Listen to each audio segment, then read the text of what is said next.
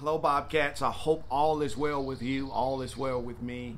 Um, as you can see, I'm outside like always, and I'm listening to the birds sing. And for me, just being outside uh, always puts things in perspective for me. Uh, so this past weekend we had Easter, and Easter is always a great time for all of us to to reset our mindset and our perspective on life and what we do.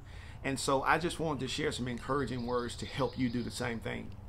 Um, so I was also reading this weekend some words from the Apostle Paul when he was writing to the church in Rome.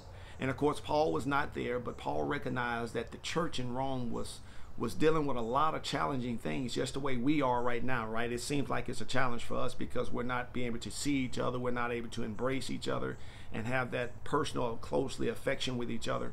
Uh, but we need to know that life will not always be like this but um, there's still hope and the reason why there's still hope because the words that paul said to the church in rome paul said that the suffering that you're going through right now is going to produce perseverance and that perseverance is going to produce character. And that character is going to produce hope.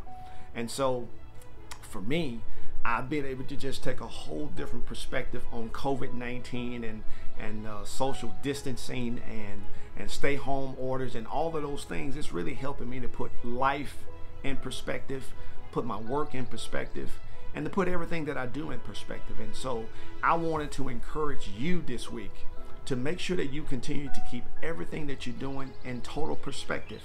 Um, because guess what? You may feel like you're suffering, but in the great scheme of things, you're actually building up that, that muscle of perseverance. And as you build up that muscle of perseverance, you're going to continue to build your character. And as you build your character, you're going to look back and you're going to see how hopeful you have become.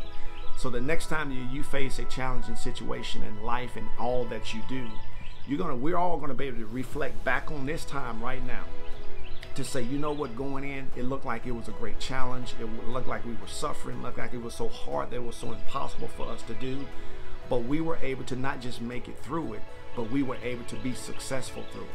So listen, be encouraged. Um, continue the great work that you're doing, and we're looking forward to seeing you on the next video. Take care.